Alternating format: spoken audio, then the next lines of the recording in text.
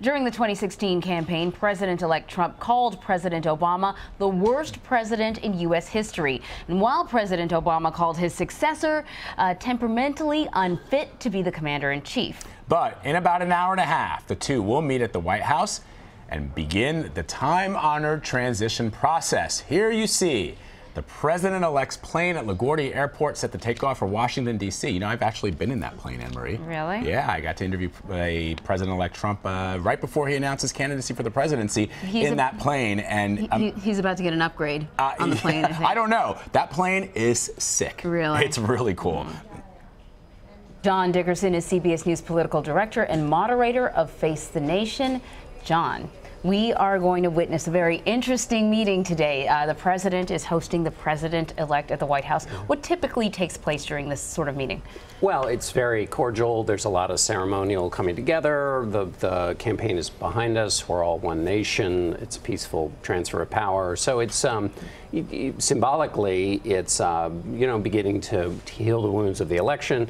Uh, in person, uh, I'm not sure what will happen at the first meeting. There are a number of these conversations between a president and president-elect in which the president-elect is gradually brought into the most sensitive parts of the job.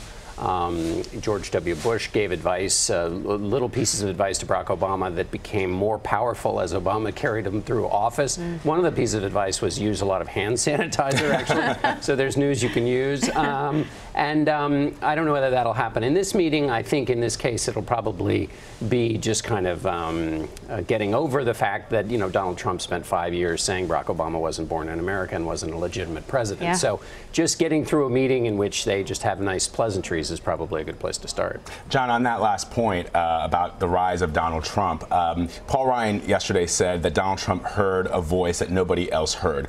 But there seem to be two narratives about the rise of Trump. One is the disaffected, those folks who feel left behind by Washington, by both parties. But there's another narrative here, which is that he did come to prominence with birtherism, with immigrant bashing, religious bigotry, the embracement of white identity politics.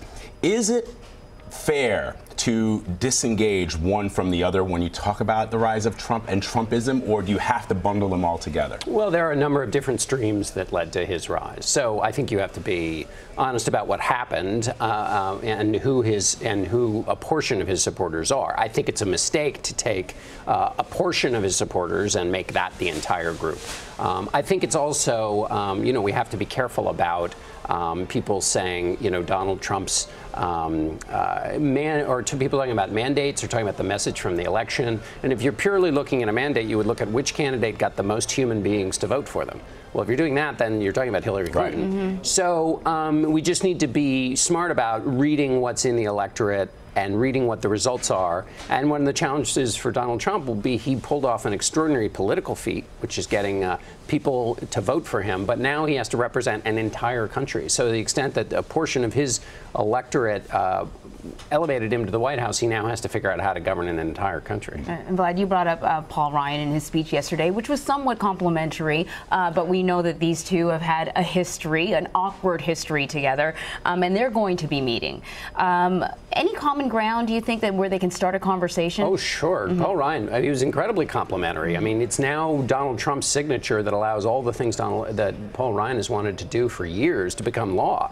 So he's he's his best pal now. Um, and it's sort of amusing to hear Donald, uh, to hear Paul Ryan talk about the voice that Donald Trump heard. The voice that Donald Trump heard has been calling for Paul Ryan's head.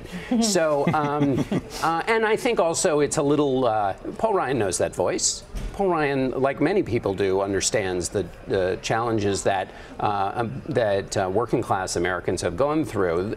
What, what Donald Trump did that was uh, so politically effective was not did, not only that he heard the voice, but that those people heard themselves in him, mm. that he mm-hmm. spoke for them. That's the ticket. Yeah. And that's important for all lawmakers. There's a, I think there's a mistake that people make when they say anybody other than Donald Trump didn't hear these voices, didn't know these people exist. Of course, people did. Of course, I mean, on, in both parties, uh, they worried about these voters. They've spent their lives trying to help these voters, but that doesn't mean they were effective. Donald Trump was quite effective in speaking and to and again for those people who feel like they've been betrayed, they've been left out of the conversation, that they always get the short end of the stick, that um, the elites get to work things out in a way that always lets them work out fine, but that hurts other people. I mean, so that um, sentiment has been in the country, and Donald Trump was the one who was best able to commune with it.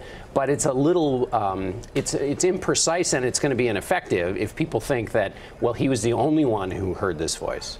Well, so to that end, Democrats in the House and the Senate issued statements that they want to work with the president elect on areas that they might agree in working families, infrastructure, family leave. Donald Trump himself on the campaign trail likened his movement to that of Bernie Sanders. So could we see even some very liberal lawmakers finding some, common some commonality with the president elect because Trump has said, look, these folks are not just Republicans; they're probably some Democrats too. Sure, absolutely, and you can add in the you know the 42 million or so poor uh, in America that Donald Trump uh, didn't necessarily campaign to or with, but that are just as shut out of the American system of uh, rewards and opportunity that the people who are more a part of his constituency and the sort of the rural non-college uh, uh, worker. So absolutely. Now the, that's a challenge for Donald Trump. If in fact he's going to talk to those whose voices have not been heard, who don't have uh, a voice in the corridors of power, mm-hmm. then he's got a huge group of Americans who would also fit that profile. And we'll see whether that's in fact his um, his goal or whether he just uh, takes care of the people who voted for him. Mm. What about the future of the Democratic Party? Who is the face of the Democratic Party moving forward now? Excellent question. Do they have uh, a bench?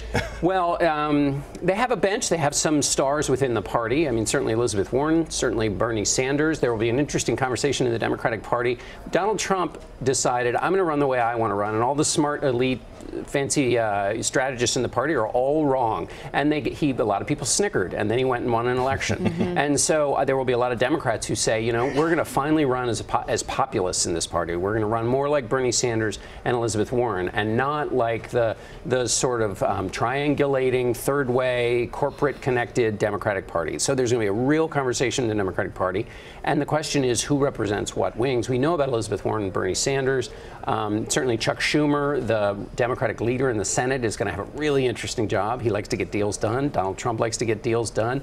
They are from roughly uh, the same neck of the woods, uh, and that'll be a really interesting relationship to watch. That's a get business done relationship, not so much a lead uh, the new generation of Democrats job? And that question is that's still a post that's yet to be filled by a, a Democrat out there. John, because you're a walking history book, um, you talked about uh, the advice that uh, President Bush On gave. very little yes, so don't make it hard. Uh, no, so I, I love the advice that I'm told that Ronald Reagan gave to President Bill Clinton, which is learn how to properly salute. The, apparently, Bill Clinton was, you know, he was sort of very lackadaisical about saluting, huh. and Reagan was always a Chris. We're on the eve of Veterans Day. Is that was that a true story? I don't know that I've heard that. There was a um, there, there, was an apocryphal version of that that was used to make uh, Bill Clinton, you know, to kind of run him down. The idea that he didn't care enough about the military to learn mm. how to mm. salute. So, um, it, but it but it could actually. I haven't heard that story. I'm not challenging it, but uh, I also know that there was this kind of uh, this idea that you know Bill Clinton didn't care enough to to, to learn how to do. So, uh, but that's a really important um, job for the president because if you uh, every time you see Barack Obama get on uh, the plane or the helicopter, you know he tries to he has a crisp salute. Yeah. So. Um, uh, among the things Donald Trump will have to learn is how to do that. Although exactly. he did go to military school, so that's he right. Probably, Valley Forge. he probably knows how to uh, give a crisp salute. Yeah. So we'll see. We'll uh, find one item off the to-do list. John Dickerson, appreciate it as always. Thank you, sir.